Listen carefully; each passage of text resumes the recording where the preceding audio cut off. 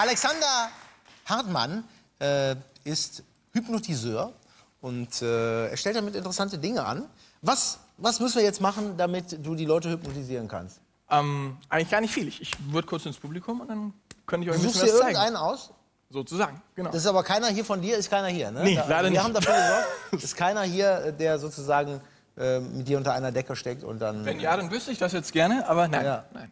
Okay, dann gucken wir mal. Äh, leg doch mal los. Ich, ich schaue mir das mal an. Genau. Aus näher und näher. Und, äh, So, hallo erstmal, meine Lieben. Ähm, ich habe gedacht, lasst uns doch mal erstmal gemeinsam alle was erleben zusammen. Und dazu nehmt mal kurz die Hände so nach vorne.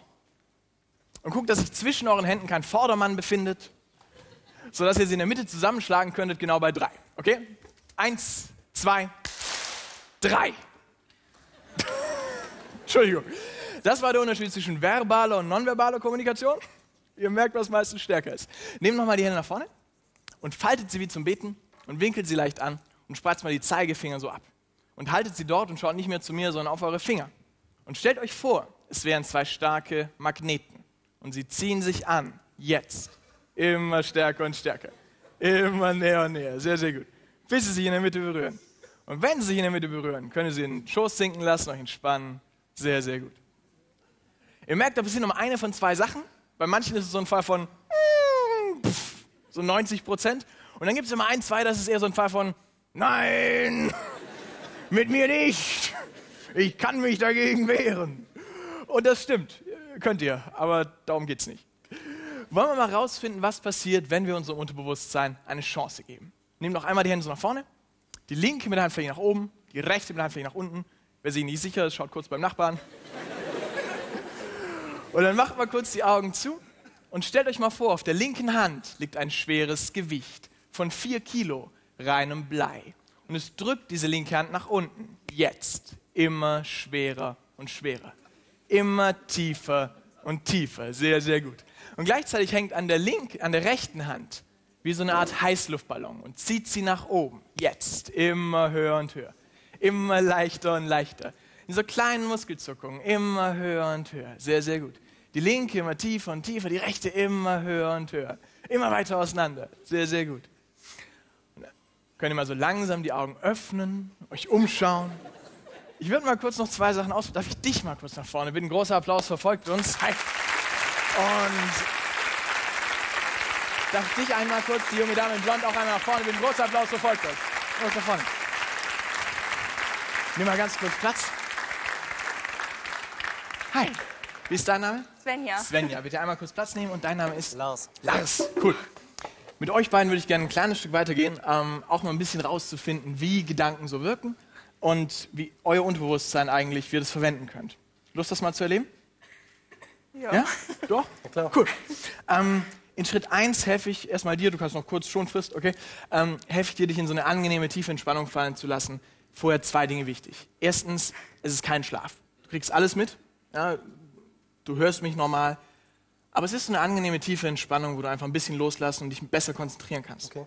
Das zweite Wichtige ist, du hast selbst eine aktive Rolle.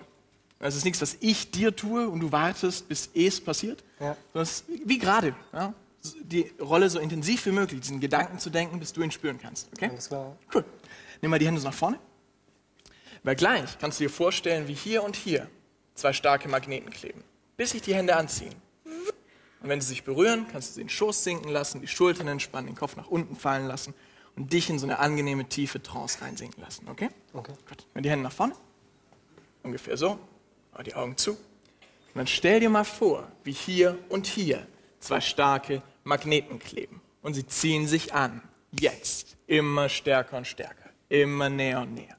Und wenn sie sich berühren, kannst du dich fallen lassen in diese angenehme, tiefe Trance und schlafen. Völlig entspannt. Völlig locker. Ich lege die linke Hand hier mal zur Seite, ganz schwer.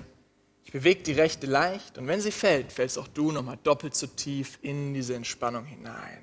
Schlaf. Sehr, sehr gut. Und dann stell dir mal vor, wie du hier auf dem Stuhl sitzt und langsam immer schwerer wirst. Wie so eine doppelte Schwerkraft dich in den Stuhl reinzieht, jetzt. Vierfache Schwerkraft. Auf so eine angenehme Art, aber wie abends auf dem Sofa, wenn man manchmal merkt, ich könnte gar nicht mehr aufstehen, selbst wenn ich es versuchen würde. Komplett schwer im Stuhl.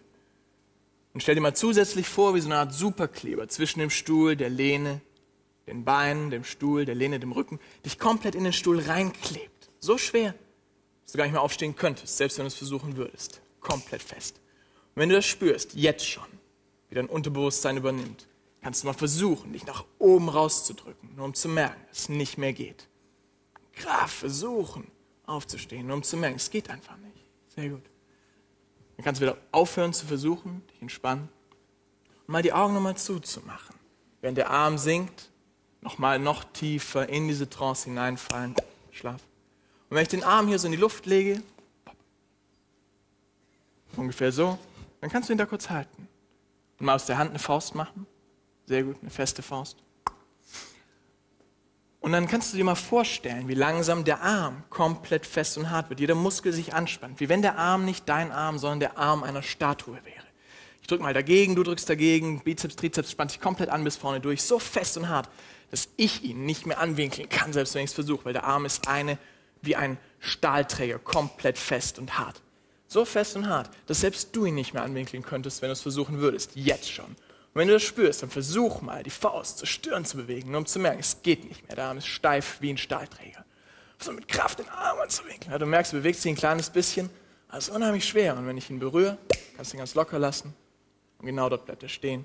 Und wenn ich ihn berühre, sinkt er wieder in den Schoß. Du noch tiefer in diese Trance. Sehr, sehr gut. Kannst du mal kurz die Augen schließen, die Füße fest auf den Boden stellen. Und wenn du merkst, wie die Augen so ein kleines bisschen flattern, kannst du dir mal vorstellen, beziehungsweise kannst du mal bewusst durch deinen Schädel durch an diese Stelle schauen, mit geschlossenen Augen, und dir mal vorstellen, wie deine Augen so schwer werden, wie Vorhänge, wie bleierne Vorhänge, die Lider komplett schwer. Und diesen Gedanken so bewusst und so konsequent weiterdenken, bis du es spüren kannst. Ja, sehr gut. Und wenn du das spürst, wie die Augen so schwer sind, dass du sie nicht mehr öffnen kannst, jetzt, dann versuch mal, sie zu öffnen, um zu merken, dass es nicht mehr geht. Ja, ist komplett unmöglich. Das ist ein komisches Gefühl, ja? Aber dann kannst du einfach aufhören zu denken, dass es so ist und die Augen mal wieder öffnen. Weil eigentlich ist es genau das und nicht mehr. Es ist kein besonderer Voodoo, kein geheimes Ritual. Es ist einfach nur ein Gedanke, den man so konsequent denkt, bis man ihn selber glaubt. Und wie oft ist es so, dass man denkt, ich kann irgendwas nicht, denkt, ich, wie soll das gehen? Wenn man selbst bei Augen öffnen dieser Gedanke so wirkt, dass es nicht geht, wie ist es dann vielleicht im echten Leben? Ich danke euch beiden ganz herzlich. Einen großen Applaus für euch. Dankeschön. Auch Svenja. Und in diesem Sinne noch einen schönen Abend. Danke euch. Ja,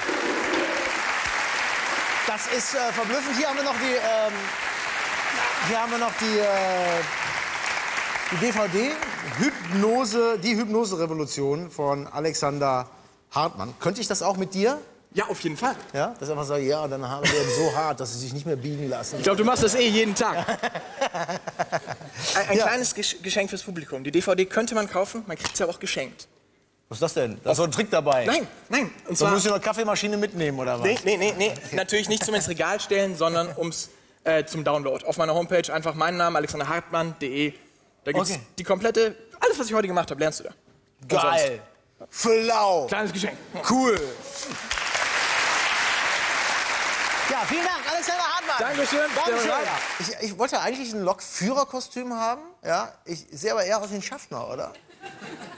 Die Lokführer wollen mehr Kohle. Die Schaffner bekommen schon 10.000 im Monat. Ja, die Lokführer, die wollen mehr Kohle. Liebe Kinder, es wird jetzt eine Illusion für euch zusammenbrechen. Die Eisenbahn macht nicht mehr